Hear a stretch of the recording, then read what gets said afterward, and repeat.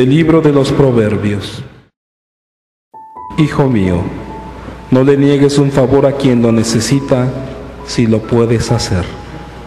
Si le puedes dar ahora a tu prójimo lo que te pide, no le digas, vete y vuelve mañana. No pienses en hacerle daño a tu prójimo que ha puesto su confianza en ti. Con nadie entables pleito sin motivo si no te ha hecho ningún daño.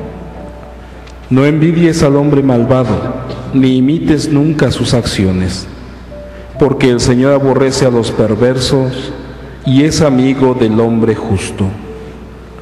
El Señor maldice la casa del malvado y llena de bendiciones la del justo. El Señor se burla de aquellos que se burlan y con los humildes se muestra bondadoso.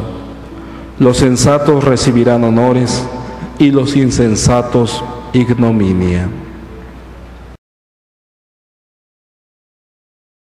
El justo habitará en tu monte santo, Señor. El que procede honradamente y practica la justicia, que tiene intenciones leales y no calumnia con su lengua. El justo habitará en tu monte santo, Señor.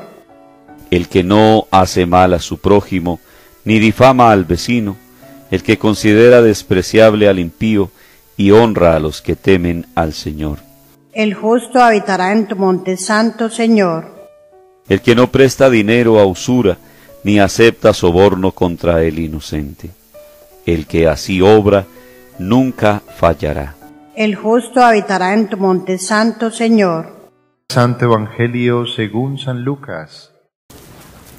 En aquel tiempo dijo Jesús a la gente, Nadie enciende una luz para cubrirla o ponerla debajo de la cama, sino que la pone en alto para que alumbre a los que entran. No hay nada oculto que no llegue a descubrirse, ni nada secreto que no llegue a conocerse y ponerse en claro.